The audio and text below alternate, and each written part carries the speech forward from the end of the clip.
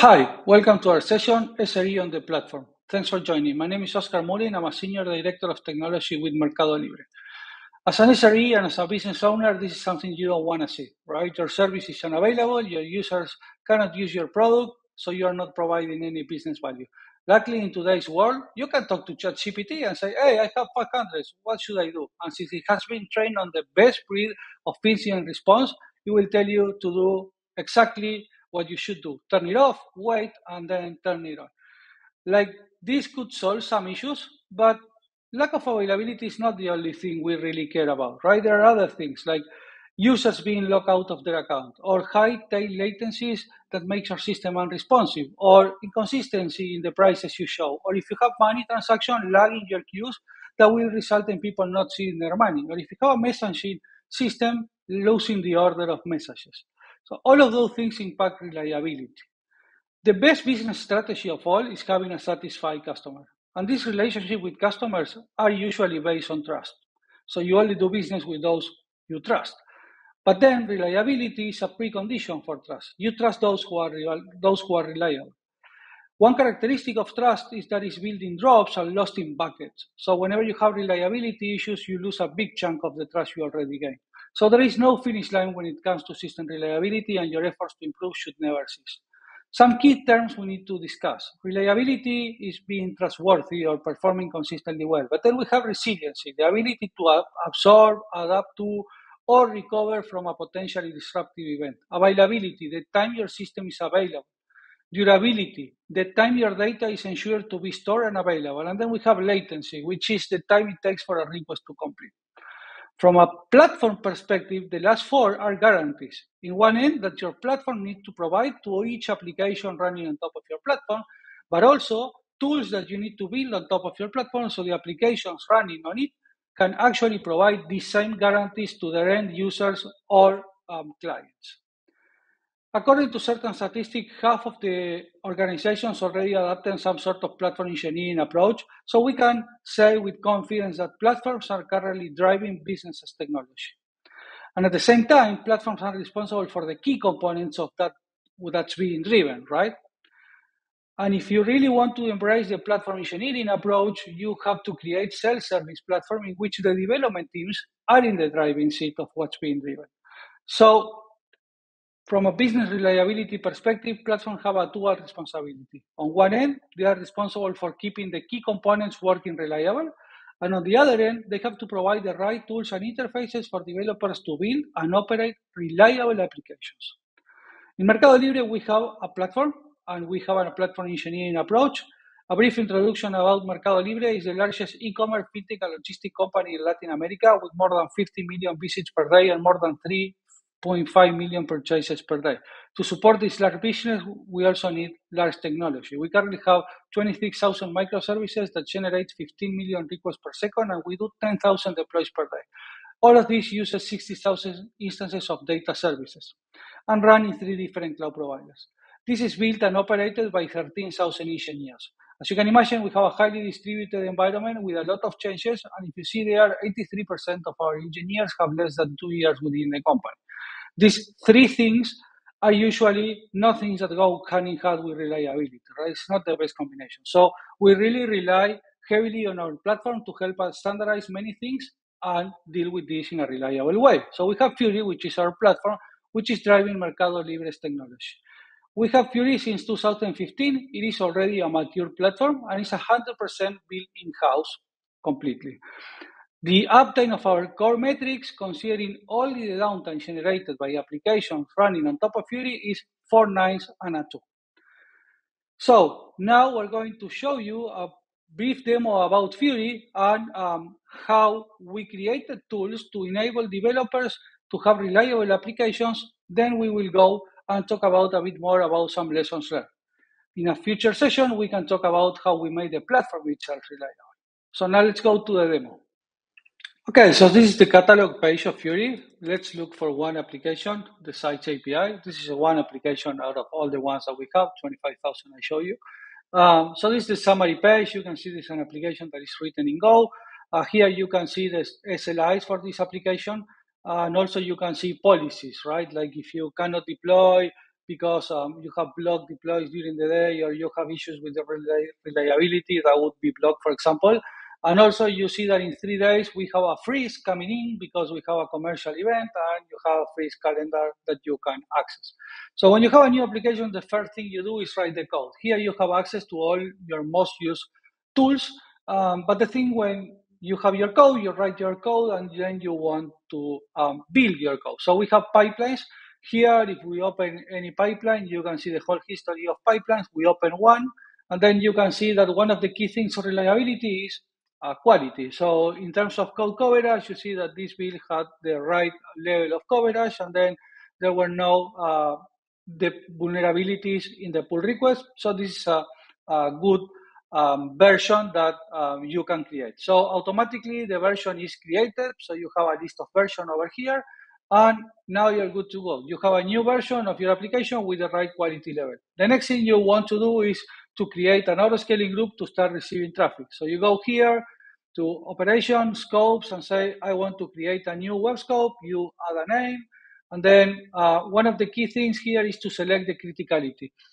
If you select high criticality, it's going to ask you, okay, so which core metrics of the company you are impacting? Because you have high criticality, you're going to have specific guarantees. Um, so you actually need to impact something critical. So uh, let's say I impact user sign in in Argentina. So the cool thing about this is that once you do this and you create this, if now there is an incident impacting this metric and your application is either alerted or having a deploy or having an increase in traffic or having an increase in latency, your team will be automatically paged. And also in the troubleshooting tools, your application will be highlighted as one of the potential applications that is causing the issue. So now that you created your um, auto scaling group, you go to infrastructure and you see it here. So now you have uh, auto scaling group with, um, in this case, three instances, a maximum of, of 100 instances. Now the next thing you have to do is deploy your code to this um, scope, right, to this auto-scaling group, so you can actually have something working. So you can come here and say, I want to deploy this version here, and you see you have multiple types of deploy. The one of the most relevant is the safe deploy, that is like a blue-green deploy, but that is automatically checking metrics, and if there is an incident, it will automatically roll back, so you don't have higher impact. You also have Canary deploys, Blue Green deploys, and also you have GCP migration deploy. So this scope is running in AWS. If you want to move it to GCP because you have reliability issues in AWS, it's just a deploy, just like that. So simple. Also, you see here that there is one version that is not recommended for productive scope because it's not coming from a stable branch. If I click it, I cannot deploy it in any production scope. And let's assume for a minute that this is a, a version with a bug, I can come here to versions and say, I want to um, disable that particular version so no one else can ever deploy it again. So now that my code is running in production, uh, using traffic catalog, I can expose access groups so people can consume me and I can declare which are my consume access group. This will simplify uh, all the traffic management, authorization, authentication, and also allow us to do certain uh, reliability um, operations with the traffic. So going back to infrastructure, uh, you also have the activity page here where you can see everything that has been happening to your application, complete log of events. Global status will open the status page. And then here in infrastructure, we can go to our read scope and see here that we automatically, by creating it, have access to a dashboard in Datadog, generic for all applications. We also have New Relic automatically, and we also have all of our logs collected automatically. We, can, we also have here alerts that were automatically created for this scope. So now I have uh, certain alerts that were automatically created and enabled. I can disable them, like doing this, but if, if this is a critical application, I will receive an opportunity um, like this, saying, hey, well, here, hey, you have an issue, uh, you need to fix it. In the case of alerts, if this is a critical application, it will automatically turn on the alerts once again. So going back to the infrastructure, if I have issues, I can, uh, this will of course auto scale, but if I have issues and I need to scale it more aggressively, I can boost it from here. I can also pause the scaling, do an instant blue green, and I can drop traffic. If you uh, enter here, you see that there are different strategies. For example, I want to drop all the traffic coming from medium criticality, and I can uh, specify which amount of traffic I want to actually drop. If I go to reliability section, I can create runbooks for the on-call team on the most common alerts. And also, if someone is having issues with my application and need to contact my on-call team, they can come here and say, hey, something is being impacted with your read scope. This is the description of the problem. I verify this contact, and this will contact the on-call team and also track all the metrics and everything.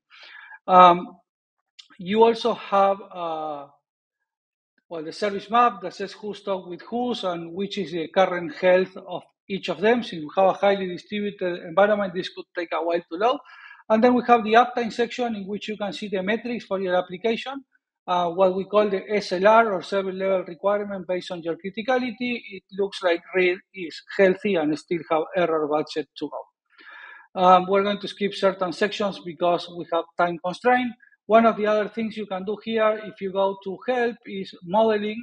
Uh, you can request a service model or an uptime modeling. These are kind of architectural reviews in which expert teams, in the case in the uptime model, the SRE team, will work with you and help you identify potential issues in your architecture and help you um, resolve them before you have incidents, or also as part of a postmortem, this could be an action item. The cool thing about this is that this data is stored attached to the application. So if the whole team changes, if um, the application moves to a different team, all the data and all the decisions that were made are actually tracked and tied to the application. Finally, you also have platform services, which are abstraction of cloud services um, that provide standardization and multiple, multiple reliability uh, implementations. For example, you can have a key value store. So here you see that this application is using a key value store. One thing that you can see from here is um, that you can boost it. And the cool thing is, imagine we have this commercial event within three days. I can create a program boost and say, hey, I want it to run once in three days uh, because um, I have uh, this commercial event and this is the time. So, and I wanted to boost to, I don't know, 120,000.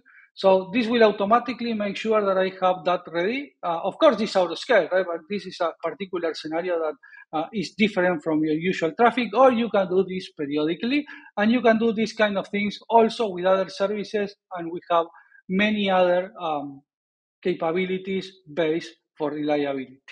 And that was a brief demo of some of the tools we built on top of our platform to improve reliability. Of course, we have more, but we didn't have time to show them all. Let's go to some lessons learned.